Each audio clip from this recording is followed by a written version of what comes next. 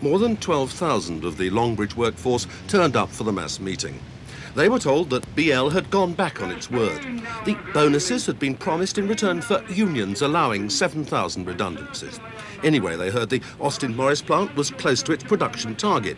Meetings with management had made no progress. This was the time to act.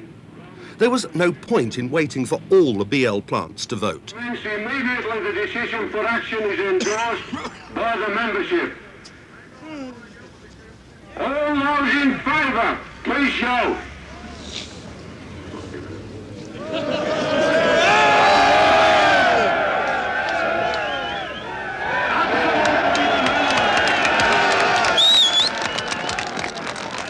The vote was massively in favour of an instant walkout.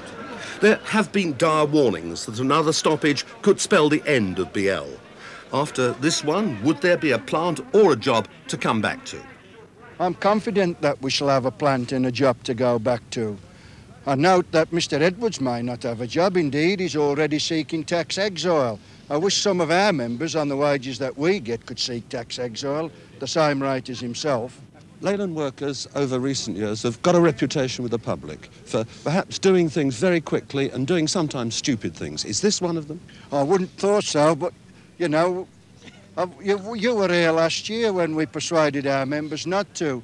If anyone's adopted a responsible attitude, it's the workers in Longbridge. Was it responsible to go ahead today with this strike? Then? I think it was eminently responsible because it seems that that's the only language that Mr Edwardes and his senior management understand. We'd have preferred not to have gone on strike.